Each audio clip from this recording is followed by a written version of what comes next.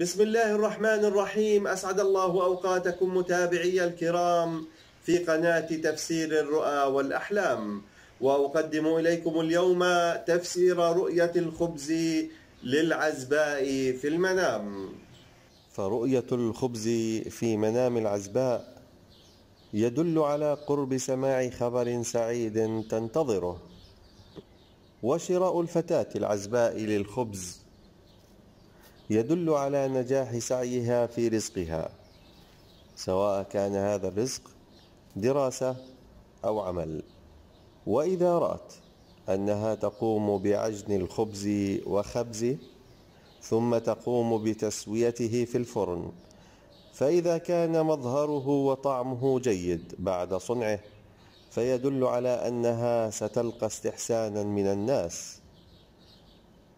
وإذا رأت أنها تأكل خبزا مصنوعا من الشعير فيدل ذلك على أنها سوف تتزوج من رجل كريم. وتوزيع الخبز للعزباء في المنام بين الناس يدل على أنها سوف تنال علما نافعا.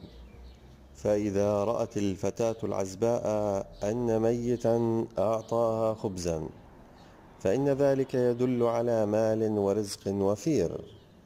وأما بالنسبة لحالات شكل الخبز في المنام ففي حالة الخبز الأبيض يدل على الرزق والعيش في هناء وسعادة والخبز الأسود يدل على العيش في ضنك وضيق الحال والخبز المر يدل على مرارة العيش والخبز الشهي يدل على غلاء الأسعار والخبز الطازج يدل على أن أمورها مع الله جيدة وأنها صالحة الدين والدنيا.